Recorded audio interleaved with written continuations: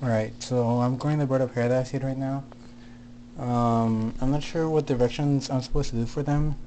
Some say I'm supposed to soak them for 10 minutes, then make them small, like cut or niche in it.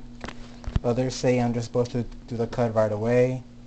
I tried soaking them in water for 10 minutes, and they didn't get any softer or anything. They stayed hard and strong, which is, you know, good for them when they're in the wild because they can last years and years um, in a seed state.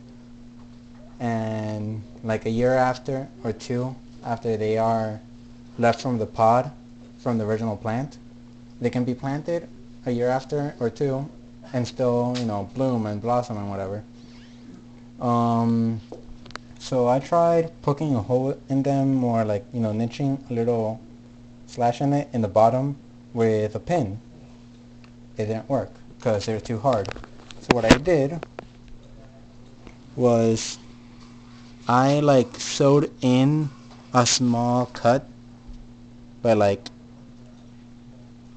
doing this to it like you know sawing in a hole with a knife a small like you know slit or whatever.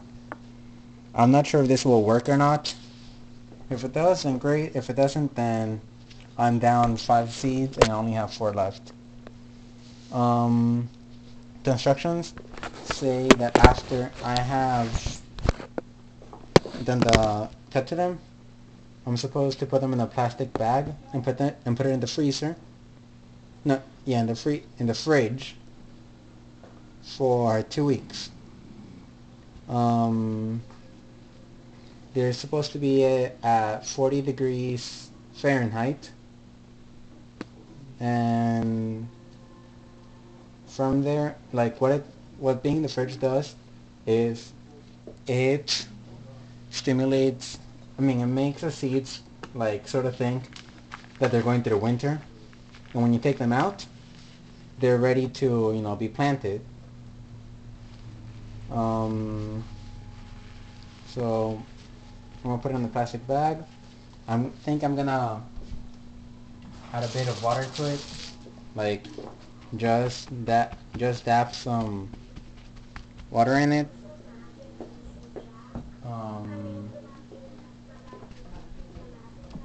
I'll put in the Ziploc bag.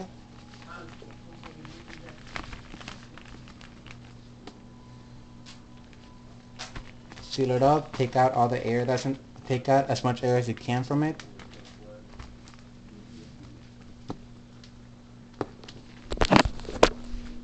and put it in the refrigerator.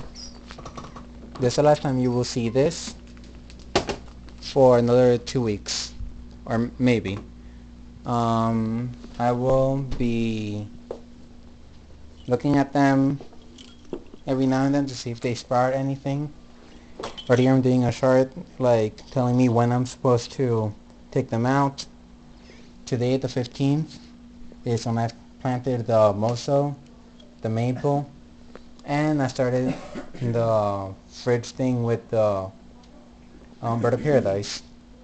Um, we'll see how it goes. Hopefully, I can get I'll get to grow them.